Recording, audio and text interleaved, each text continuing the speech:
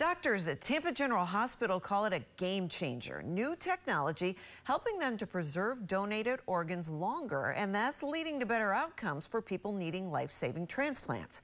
Chris Martinez explains in this week's Head Start on Health. Incredible technology is allowing doctors at Tampa General Hospital to preserve donated organs longer, and that's helping them save more lives. It's basically the heart, the lungs, and the gut, the reservoir that holds the blood in the body. By recreating conditions inside the body, this machine called the OrganOx metra keeps a donated liver alive.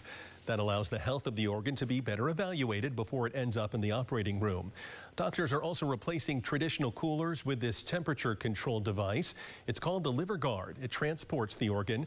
By using both of those machines together, doctors say they are seeing a higher rate of successful transplants. You have a finite amount of time where we had to put it in someone.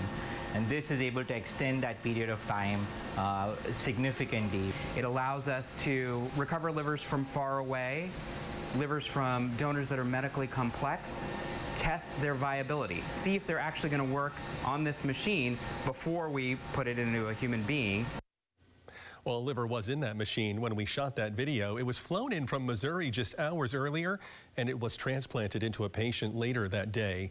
TGH is using the same technology for other organs as well, including kidneys. With your Head Start on Health, I'm Chris Martinez, 8 on your side.